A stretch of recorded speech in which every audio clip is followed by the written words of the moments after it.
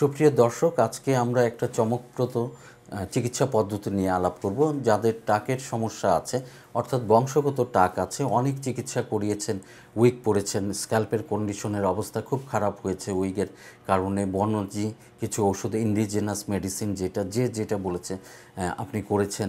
অনেক ধরনের অনলাইনে তেল কিনেছেন, কিন্তু চুলকে আর ধরে রাখতে পারেননি। ধরে রাখতে পারার কারণও নেই, কারণ এটা হচ্ছে বংশগত চুল পড়া। জিনগত কারণে এটা হয়।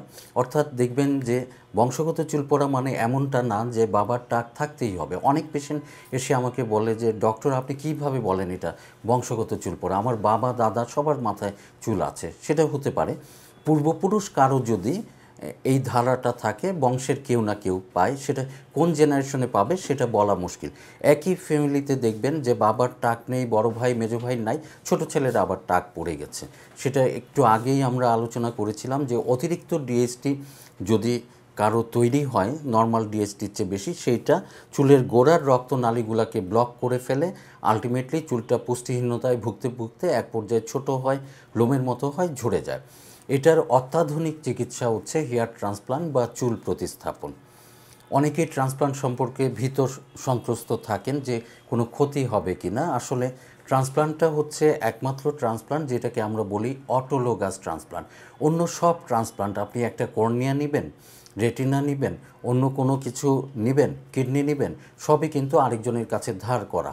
অর্থাৎ আপনি ঋণী হয়ে যাচ্ছেন, কিন্তু হেয়ার ট্রান্সপ্লান্টে আপনি ঋণী হচ্ছেন না। আপনার মাথার চুলটাই জাস্ট এই জায়গাটা, ডোনার এরিয়া বলি আমরা, পার্মানেন্ট জোন বলি। এটার কারণ হচ্ছে এই চুলগুলার গোড়ায় এতক্ষণ যেটা চেঁচাচ্ছি আমি ডিএসটি ডিএসটি ডিএসটি সেই ডিএসটি হরমোনের জন্য কোনো রিসেপ্টর বা অ্যান্টেনা বা সেন্সর আল্লাহ তালা দেননি। একটা টিভি চালাতে রিমোটের সেন্সর যদি কাজ না করে, টিভিটা চলবে না।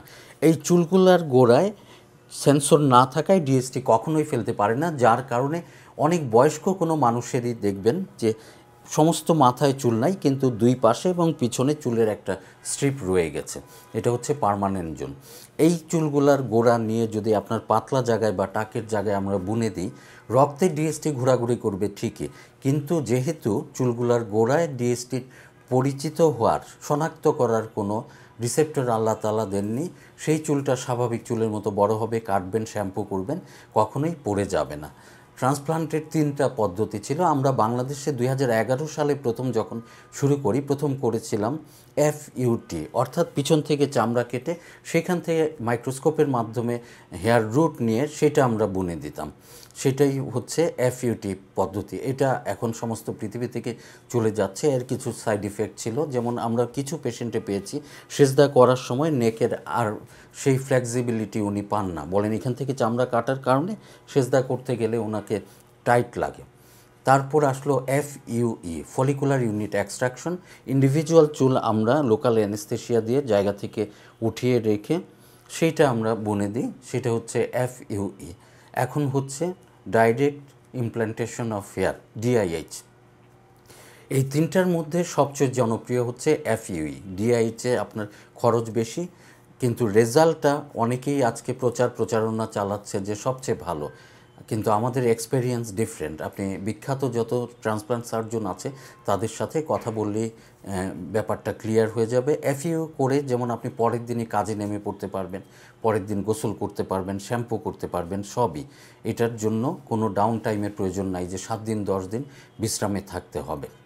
তো এফইউ পদ্ধতি সবচেয়ে জনপ্রিয়। খুব কম খরচে আমরা এখন পঁচিশ টাকা প্রতি গ্রাফটে আমাদের সেন্টারগুলাই করছি।